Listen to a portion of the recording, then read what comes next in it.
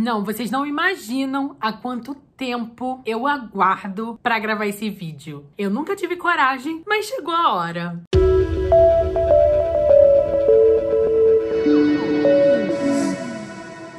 Olá todo mundo, sejam bem-vindos a mais um vídeo do Kabuki TV. Bem-vindos de volta ao Kabuki que ficou pausado aí durante praticamente todo o mês de janeiro. Eu postei o último vídeo que eu vou deixar aqui nos cards com a Paty, que foi muito gostosinho. A gente gravou um pouquinho antes do Réveillon, quando ela veio pra minha cidade me visitar. Só que virou ano, eu fiquei doente e só me recuperei de fato nos últimos três dias. Hoje é dia 26 de janeiro e levou bastante tempo pra me recuperar, mas estou de volta. E quero inaugurar esse ano com uma tag que eu tô há muito tempo esperando para fazer, para realizar, mas que eu nunca via a hora certa para fazer, porque quando eu encarava os itens da tag, eu achava desafiador demais, ou há muitos anos, quando eu via as pessoas fazendo, eu via leitores que liam muito mais calhamaços do que eu. Só que desde 2020 para cá, a minha relação com o gênero fantasia também começou a ficar muito mais próximo, e isso fez com que eu lesse livros maiores, né? Também tem um clube Outlander, os livros da Sarah J. Maas, enfim, são muitos os calhamaços que eu comecei a ler recentemente, de uns anos pra cá. E aí muda completamente o cenário pra gente fazer essa tag. Então eu tinha uma meta muito grande de fazer a tag dos calhamaços nos primeiros meses de 2022 e resolvi finalmente trazer como um primeiro vídeo do ano, né? Tecnicamente é um primeiro vídeo, mas entre aspas, porque não deveria ser, né, gente? Então finalmente eu trouxe pra vocês. Eu estava com muita saudade dos vídeos, nem lembro como é que grava, gente, pro YouTube. Vamos reaprendendo aqui. Não se esquece de compartilhar esse vídeo com seus amigos, se inscrever aqui embaixo no canal e espero que você tenha um 2022 maravilhoso, repleto de realizações de sonhos, muita coisa incrível acontecendo. Demorou muito tempo para eu montar essa lista, porque dá trabalho mesmo de fazer a escolha certinha, bem acertada, mas finalmente estou aqui. A tag é um pouco grande, assim como o título dela diz, tem 15 itens. Eu já vi todo mundo do Booktube fazendo, então, gente, é isso. Bora lá. Item 1. O maior livro da sua estante que já leu. Eu acredito que seja esse, porque embora a quantidade de páginas seja muito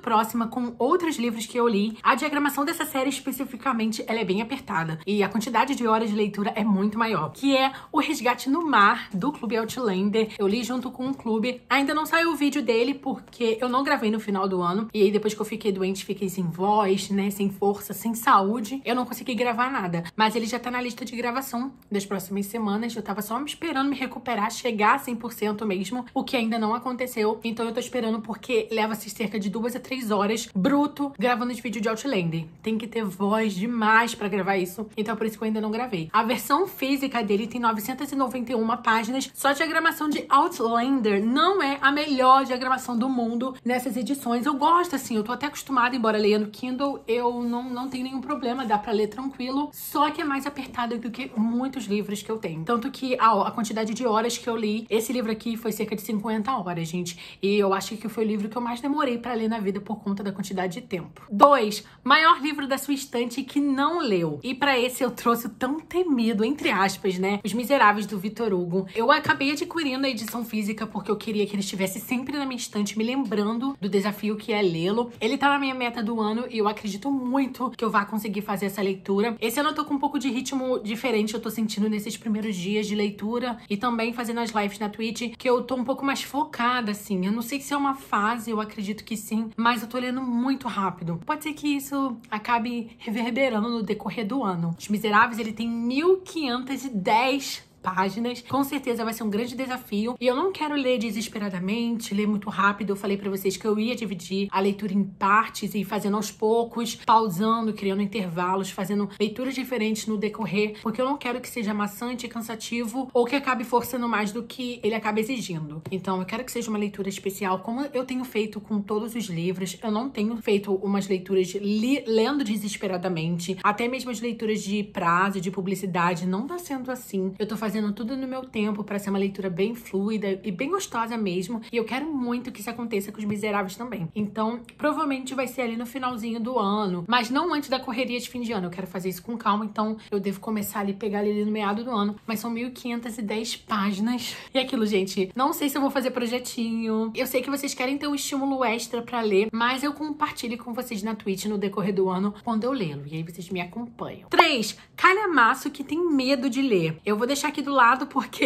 o medo é tanto que eu não tenho ele na estante. Mas aí tinha coisa do Stephen King. Gente, é um mestre do horror, sabe? O, e o horror é um gênero que tem uma narrativa, que tem um objetivo de trazer medo pro leitor. Mas não é a palavra medo realmente que define a minha relação com essa leitura. Eu tenho receios, eu tenho sim, eu, eu penso milhões de vezes se eu realmente quero encarar uma, uma leitura dessa. Eu tenho pegado até algumas coisas agora bem pesadas, assim, para poder me preparando para essa vida depois, pós-30, porque eu faço 30 anos esse ano e eu acredito que isso pode ser realmente um início de uma nova era de leitura, como eu passei por muitas durante toda a minha vida. Então eu acredito que Tia Coisa pode sim ser lido futuramente, mas agora, gente, não é o momento e eu não posso fazer algo que não está no momento para ser feito. No entanto, o item 4 é o inverso, que é o calhamaço que você tem fissura para ler, que você tem muita vontade, que você fica quase roendo a unha de tanta ansiedade para começar esse livro logo. Nesse caso, é O Nome do Vento, do Patrick Rothfuss. Esse livro aqui tem 766 páginas nessa edição de luxo exclusiva do Patrick, que Arqueiro lançou no finalzinho do ano passado. É o primeiro livro das crônicas do Matador do Rei, que se passa numa universidade de magia. Falta o Patrick lançar, eu acho que é o terceiro ou último livro. Eu quero muito ler essa série, acompanhar essa saga, mas é algo que eu não fiz ainda. Porém, a vontade não falta. Eu tenho muita vontade de ler esse livro. Eu quero começar a ler alguns autores específicos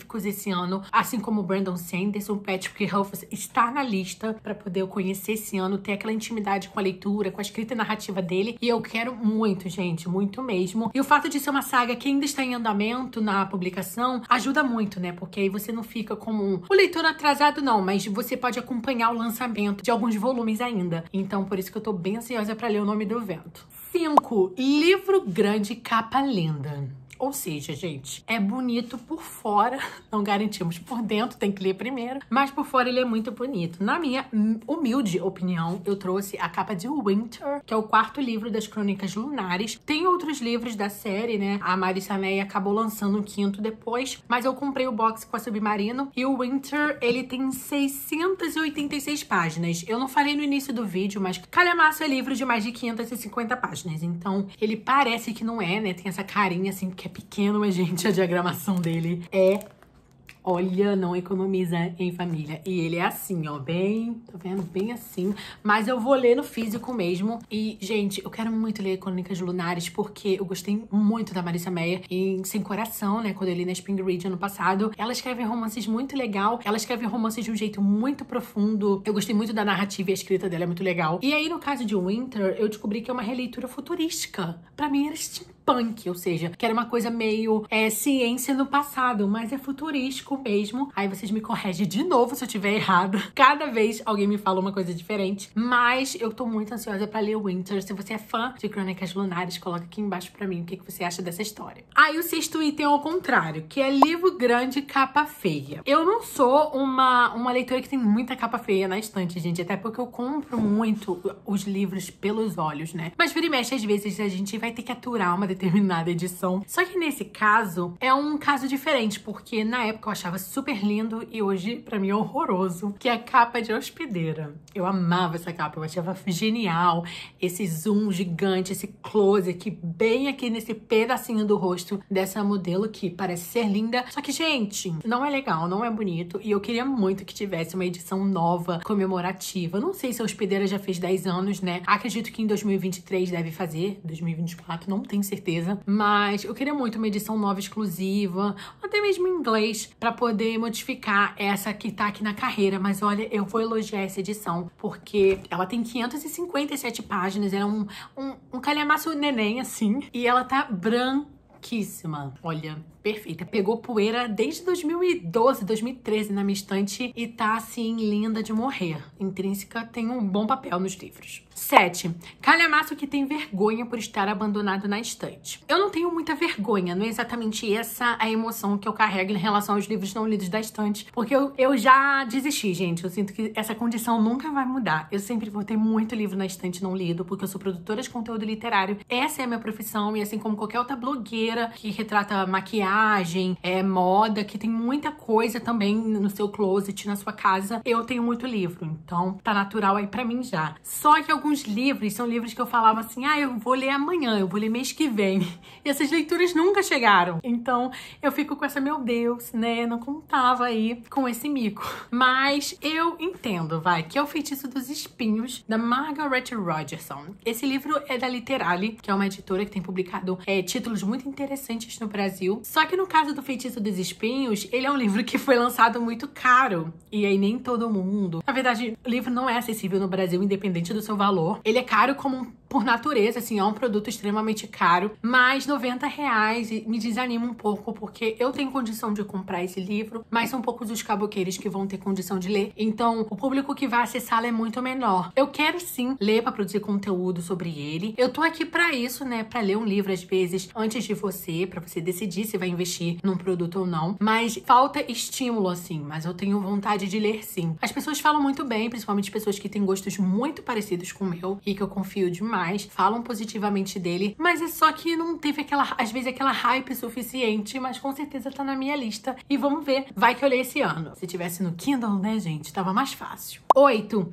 Um calhamaço que leu e não lembra quase nada ou que vai reler. É aquele livro que você já leu há muito tempo, esqueceu grande parte dos acontecimentos, ou que às vezes você até lembra, mas você vai querer reler em algum momento por conta de, da sua paixão pelo livro ou algo parecido. E eu trouxe um perfeito para esse item, que é a Rainha da Escuridão, da Cassandra Clare. Eu sou apaixonada por essa era da, dos caçadores de sombras, assim. Os caçadores de sombras, eles estão no seu auge aqui em poder, em conhecimento. Quanto mais jovem eles são, mais poderosos eles estão nascendo, mais hábeis eles estão ficando. Tem muita lenda para eles se inspirarem. Então eu acredito que os caçadores vão ficando cada vez melhor a cada geração. E nesse caso aqui, eu queria muito reler por conta de alguns acontecimentos que estão muito atrelados a instrumentos mortais quando eu for ler a próxima série e a última que vai sair dos Caçadores de Sombras, que é The Wicked Powers que tá para sair ano que vem. A gente sempre acha que vai sair em 2021, 2022, mas eu acredito que vai vir aí em 2023, depois de Corrente de Espinhos, que sai esse ano tanto nos Estados Unidos quanto no Brasil, eu acredito. E aí, no caso de A Rainha do Ar da Escuridão, ele traz muito, assim, alguns núcleos, alguns arcos e plots de outra série que vai ser muito importante para The Wicked Powers. Então, eu acredito, inclusive, que eu vou reler esse último livro. Ele é um calhamaçozinho, ele tem 700, quase 750 páginas, tem alguns conteúdos extras de ilustrações, né? Ai, meu Deus, tem um marcador aqui dentro. E ele é lindo, assim, ele é muito doloroso também, o final do Senhor das Sombras é bem difícil. E aí esse livro aqui traz essas consequências. Eu lembro que eu comecei a ler esse livro no avião, gente, no aeroporto, indo pra Bienal, que eu tava com muita ansiedade nessa época para terminar essa série. Eu tava lendo um atrás do outro. E foi uma leitura muito gostosa que eu quero voltar a devorar. Nove, último calhamaço que leu, gente. Primeira vez que eu vou falar desse livro aqui no canal, hein? Aguenta aí. Enquanto eu tava doente, eu não consegui fazer muita coisa. Na verdade, eu quase nem consegui ler. Mas quando eu tava na reta final da gripe, eu me recuperei um pouquinho. Eu peguei esse livro para ler, pra sair da ressaca que eu estava. Porque eu senti que eu tava... Se eu não escolhesse o livro certo, eu ia acabar com o meu mês de janeiro e não conseguir ler mais nada. E aí eu peguei de Sangue Cinzas, da Jennifer Lametroff, que é o primeiro livro da série de Sangue Cinzas que traz aí fantasia, romance, o livro adulto. E, gente, esse livro é maravilhoso. Eu vou fazer o veredito dele dele. O roteiro tá quase prontinho. Eu trago para vocês no início de fevereiro. Ele me surpreendeu. Ele é fantástico. Ele foi favoritado. Eu comecei o ano muito bem. Ele me livrou da ressaca. Eu já li quatro livros agora em janeiro, na verdade. Foi, eu tô no quarto livro. E tá sendo sensacional. Então, apenas apreciem essa obra. E aquilo, gente, tem que ser fã de Acotar e Tog e alguns outros livros muito semelhantes para poder gostar dele. Porque tem umas pegadas e uns elementos um pouco semelhantes, mas ele consegue reinventar uma magia de um jeito jeito muito diferente. E eu vou trazer no veredito para vocês, ok? Então aguardem aí. Décimo, estou desenterrando livros nessa estante para esse item. Último calhamaço que abandonou. Eu não sou de abandonar livros. Na verdade, alguns livros que estão em andamento realmente estão pausados e não abandonados, que são coisas muito diferentes. Quando você abandona, você desiste de uma leitura. Mas na época eu desisti desse livro, gente. Desde 2019 para cá, eu tenho repensado isso e pensado em reler essa trilogia. Quem sabe futuramente futuramente com vocês, que é Sonhos com Deuses e Monstros. Ele é um calhamaço baby também, tem 558 páginas. Foi um dos primeiros calhamaços que eu peguei na época, né? Só tinha lido A Hospedeira e alguns livros da Academia de Vampiros que são bem grandes, mas eu tava assim no começo de uma jornada de leitura de fantasia. Eu acho que eu li isso totalmente fora de hora. Eu acredito inclusive que Feita de Fumaça e Osso e toda essa trilogia da Lenny Taylor, ela foi publicada num momento errado, embora ela seja extremamente comercial. Eu acho que o público de Feita de Fumaça e Osso tá muito mais preparado e educado hoje para ler e consumir esses livros, tanto que depois a editora relançou ele infinitas vezes com muitas capas diferentes para poder ganhar públicos novos, porque ele chegou num momento onde se falava pouco sobre a fantasia que ele apresenta aqui. Na época a gente ainda tava num clima crepúsculo, num clima onde os livros de vampiros, sobrenaturais mesmo, com criaturas sobrenaturais, estavam focando em romance. E aqui ele foca muito no mundo complexo, repleto de magia, guerra, história, passado e algo que tá super comercializado hoje. Então eu tenho essa, eu tenho essa interpretação, essa visão da trilogia feita de fumaça e osso e também acredito que eu tenho uma mente muito melhor para ler a trilogia hoje. Então é por isso que eu vou reler toda a trilogia futuramente. E na época eu deixei Sonhos com Deuses e Monstros por motivos que hoje são motivos que fazem eu ficar presa na história. Porque na época eu tava vendo o livro tava começando com narrativas em pontos de vistas em vários lugares diferentes. E na época eu não gostava disso. E hoje eu amo. Então tenho que pegar essa trilogia de novo para ler e dar uma segunda chance. 11. Livro grande que leu rápido. Tava demorando.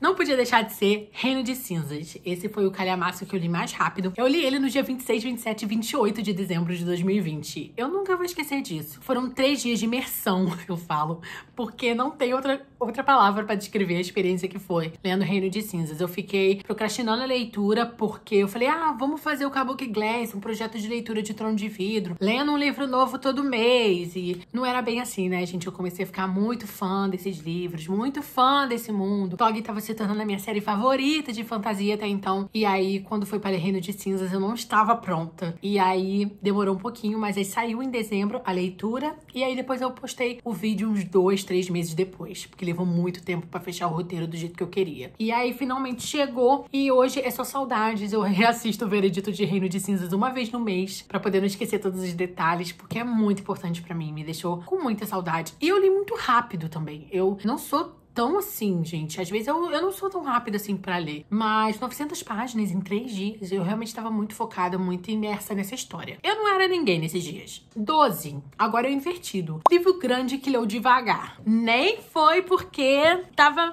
esmiuçando o sabor, tá, família? As dificuldades né? Escala montanhas cada capítulo, que é Tempestade de Guerra. Tem veredito aqui no canal e vocês sabem que eu me decepcionei bastante com essa história. Eu tava com uma expectativa alta mesmo depois da decepção de A Prisão do Rei, por conta dos acontecimentos no mundo que eram muito importantes, eu era muito fã deles. Só que Tempestade de Guerra foi um caos, assim, em alguns aspectos, não todos. Eu dei três estrelas e mantenho essa nota aí, não diminuo, porque eu acredito muito ah, na escrita e na narrativa e no desenvolvimento dos relacionamentos da Victoria Verde para alguns personagens, mas ela não sou soube lidar nem com a vilania e nem com os personagens centrais nesse livro. Ela acabou trazendo e melhorando e destacando muito mais os personagens secundários e isso acabou é, me deixando muito pé da vida, porque meus personagens favoritos eram os centrais. Embora tenha suas 700 páginas, ele é um livro fluido e rápido de ler, mas eu tinha que parar cada capítulo, porque às vezes era uma narrativa que eu nem queria estar tá lendo e eu tava lendo, e não foi uma leitura que eu fiz obrigada, eu tava bem, inter... eu queria saber o que estava acontecendo na história, mas era uma decepçãozinha a cada alguns capítulos. Tem um veredito melhor aqui para vocês entenderem melhor minha relação com a leitura de Tempestade de Guerra. Realmente dividiu muito a minha opinião, as minhas emoções e por conta disso acabou se tornando um desafio para terminar. Eu levei quase 15 dias.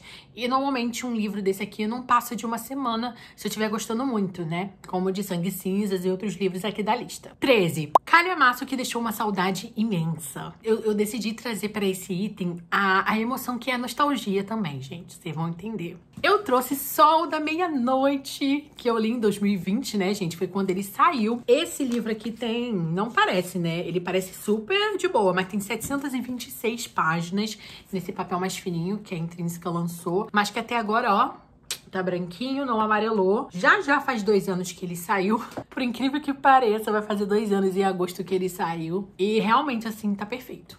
Agora, uma coisa que não posso deixar de falar. É, por mais que eu seja muito fã dessa história, eu tenho eu tinha ido pra, pra da Meia-Noite totalmente preparada para devorá-lo em dois, três dias. Não aconteceu. Sol da Meia-Noite é um livro que não é para você ler muito rápido, porque os pensamentos, as reflexões e as descrições milimetricamente é, perfeccionistas do Edward Cullen como um vampiro que consegue ler pensamentos, silenciar sua própria mente e refletir sobre o passado, presente e futuro tudo ao mesmo tempo, desafia nossa própria mente como leitor humano mero mortal a entender capítulo a capítulo. Vocês entenderam o que eu quis dizer? Gente, tomara que eu tenha sido coerente. Mas é bem isso. É um vampiro contando uma história para você e você tendo que ir no, na velocidade dele, que é totalmente diferente da sua. Então, Sol da Meia Noite é desafiador, mas ao mesmo tempo é simples, ao mesmo tempo é muito romântico, e ao mesmo tempo é assim.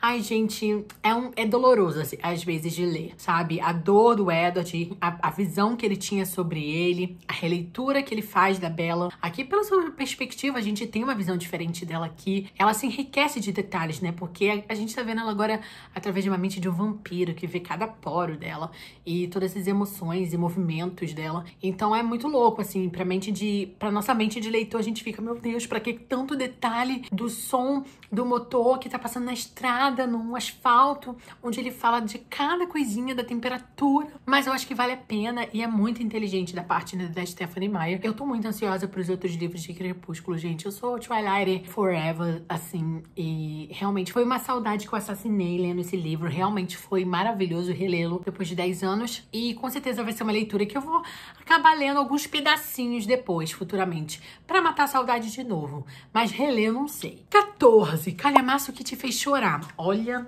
eu poderia usar inclusive o próprio Reino de Cinzas, porque eu chorei com ele, mas tem um calhamaço que acabou comigo em 2021, né, gente? Que é A Libélula no Amba. Esse é o livro mais triste e sofrido que eu li na minha vida. São 875 páginas de sofrimento, gente, de dor. É um casal que, meu Deus, passa por muita coisa horrível. E aí, no caso, a Libela no Amba, ele é uma, é uma tortura, assim, é, pra, de alguma forma para esses dois, sabe? Você fica aqui desse lado, desejando que o melhor aconteça. E a cada capítulo as coisas vão de mal a pior, assim. E aí você chega uma hora que você não aguenta mais. Você liberta, assim, essa lágrima que vai acumulando. Porque você não lê. Você, porque você não chora a cada capítulo. Eu não sou assim com Outlander. Eu não choro a cada capítulo. Eu vou chorando no final, sabe? Quando a tristeza vai pesando mais. E isso não é nem um pouco é malefício para mim. Eu gosto muito porque eu compreendo demais agora um outro lado da experiência literária por conta dos livros de Outlander. Eles desafiam demais as nossas emoções. E, gente, Outlander, ele é revolucionário para mim. Quando ele foi lançado em 1980,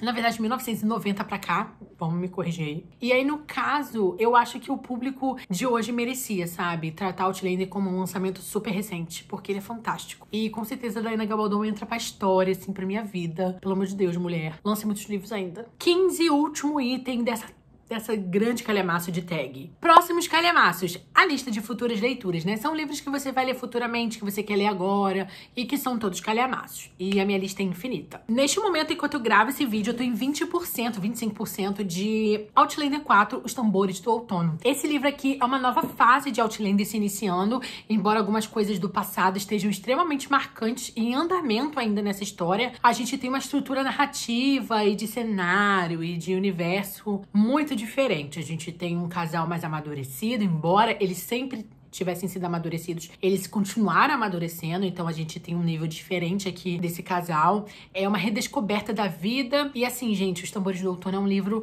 que é para você chorar e ao mesmo tempo você ficar muito felizinho. Eu tô tendo várias emoções distintas, mas ele é bem doloroso em muitos aspectos. A violência permanece, não muda nada em relação a isso. As dificuldades desse casal para encontrar paz e felicidade tá difícil aí, mas tá sendo fantástico assim. Eu cheguei em 25%, acho que eu já tô lendo uns dois, três dias. Eu acredito que eu vou ler mais uma semana na Twitch com o pessoal, porque é bem desafiador e muito emocionante. E Outlander é tudo para mim. Eu vou também continuar minha leitura de Cidade da Lua Crescente. Eu estou acho que no capítulo 39. Acho que é mais ou menos isso. Estou em 50% desse livro. E eu vou continuar de onde eu parei. Eu li a metade ano passado e esse ano vou chegar na reta final e acabar. Essa é uma leitura que é para você ler muito rápido, assim. Ele prende e é muito emocionante. Tem uma linguagem jovem que deixa a gente muito na zona de conforto para quem tá acostumado com os livros da Sarah J. Maas. Mas, como fã, eu não tava preparada em nada e ler uma série que tava saindo da Sarah J. Maas, porque nunca tinha é, vivenciado essa história, essa coisa de livro novo, bora! E aí foi a primeira vez eu não soube fazer isso, gente. Eu não soube. Agora vai sair Casa de Céu e Sopro. E aí finalmente eu vou ler essa coisinha aqui, porque eu vou pegar os dois de uma vez. E é isso que eu vou fazer. Eu vou ler Cidade da Lua Crescente alguns dias pro lançamento de Casa de Céu e Sopro. E aí eu leio Casa de Céu e Sopro. Eu decidi fazer um vlog de leitura sobre toda essa jornada, ok?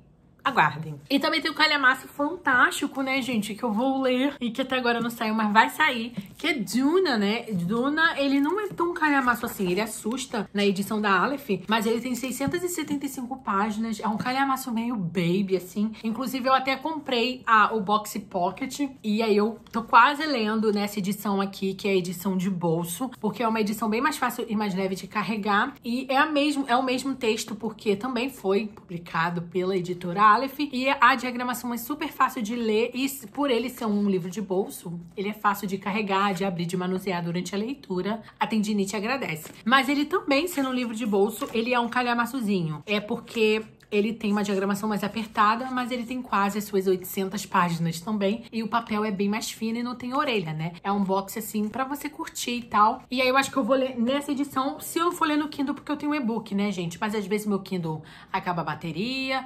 E eu tô com saudade de ler físico, tem bastante tempo. O que, que vocês acham? Bem, amores, é isso. Esse é a tag dos calhamaços, né? Finalmente fazendo essa tag pela primeira vez. É óbvio que é uma tag que é super fácil de refazer depois, conforme novos calhamaços vão sendo lidos, mas eu vou deixar assim por uns anos. Espero muito que vocês tenham gostado desse vídeo. Lembre-se de avaliar o Kabuki TV, de continuar assistindo todos os vídeos que sair. Eu tô liberando vídeos duas a três vezes por semana no sábado. Ativa o sininho para receber as notificações e você também pode me seguir no Instagram, na Twitch, em todos os outros lugares do Kabuki Verso para receber notificações notificação quando todos esses vídeos saírem, porque aí você vai ficar sabendo. O Discord, o Telegram e todas as outras redes do canal vão ficar aqui embaixo e também você pode comprar os livros citados aqui com os links da Amazon que vão ficar aqui embaixo. Também tem links do Submarino da Americanas, porque todos esses links são comissionados e aí você pode ajudar indiretamente, mas diretamente, o Cabo que TV sem tirar nada mais do bolso. Então é isso, meus amores. Conto muito com a presença de vocês no decorrer de 2022 no Cabo TV. Desejo boa leitura para todo mundo.